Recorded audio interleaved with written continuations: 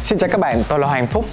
Như chúng ta đã biết, nếu chúng ta thuộc kiểu khí hậu nhiệt đậm do mùa với đặc điểm nóng ẩm quanh năm, điều này đã gây không ít khó khăn trong việc bảo quản hàng hóa cũng như các thiết bị linh kiện kim loại.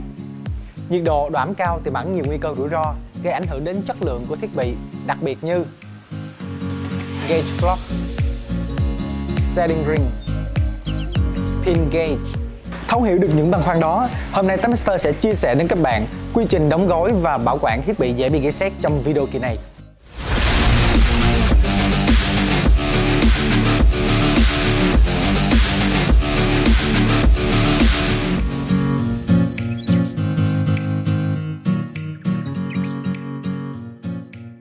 Thiết bị, linh kiện bằng kim loại khi để trong môi trường tự nhiên dễ bị ăn mòn, gỉ sét gây ảnh hưởng nghiêm trọng đến chất lượng. Gỉ sét là hiện tượng bề mặt kim loại tiếp xúc với oxy, hơi nước trong không khí. Kết hợp với điều kiện thích hợp, kim loại sẽ bị oxy hóa tạo thành lớp oxit kim loại, khiến thiết bị linh kiện bị gỉ, gây biến chất, bề mặt giòn dẫn đến nứt gãy, hư hỏng. Chính vì vậy, việc lên phương án chuẩn bị và thực hiện nghiêm túc các quy tắc trong đóng gói, bảo quản thiết bị, linh kiện là điều vô cùng cần thiết.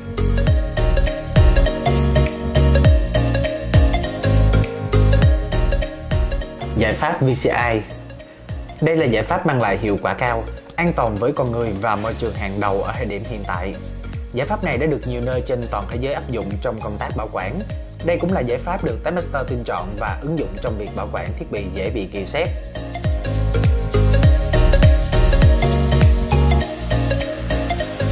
Quy trình bảo quản thiết bị Bước 1.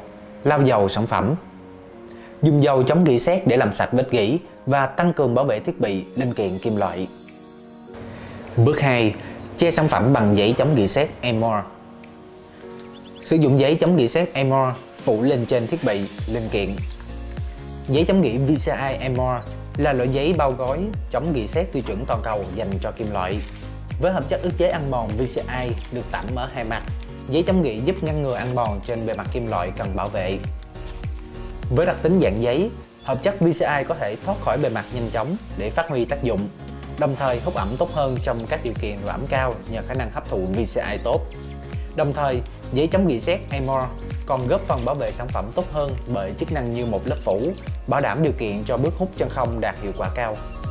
Bước 3.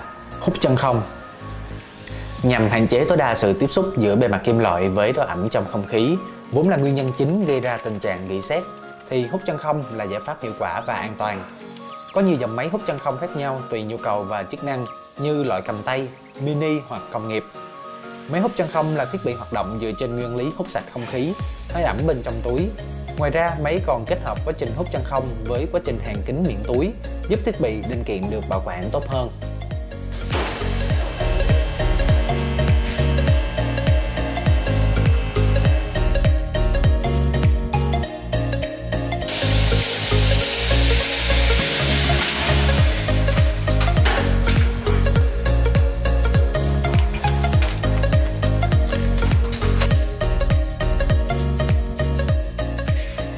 Bước 4. Đóng gói và lưu kho Đặt thiết bị, linh kiện đã được hút chân không vào thùng cạc tông và thực hiện các bước sau đó như lưu kho hoặc ghi gửi, vận chuyển.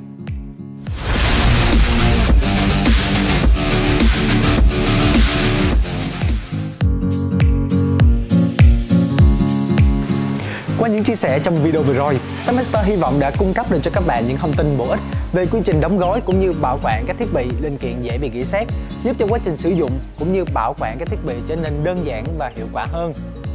Với quy trình đóng gói nghiêm ngặt, khắc khe, Testmaster cam kết sẽ giữ trạng thái thiết bị linh kiện của quý khách hàng trong thời gian lưu trữ tại Testmaster ở trạng thái hoạt động tốt nhất. Đừng quên nhấn like and subscribe channel của Testmaster để cập nhật những video mới nhất. Còn bây giờ, xin chào và hẹn gặp lại.